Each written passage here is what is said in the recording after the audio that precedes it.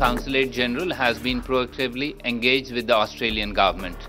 Our Consul General spoke to the New South Wales Premier, Mr. Mike Baird, and requested him to pursue this matter with the utmost importance.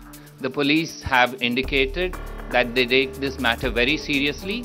They are putting in special group of detectives to pursue this matter and they hope that they will have Uh, something to share with us as soon as possible.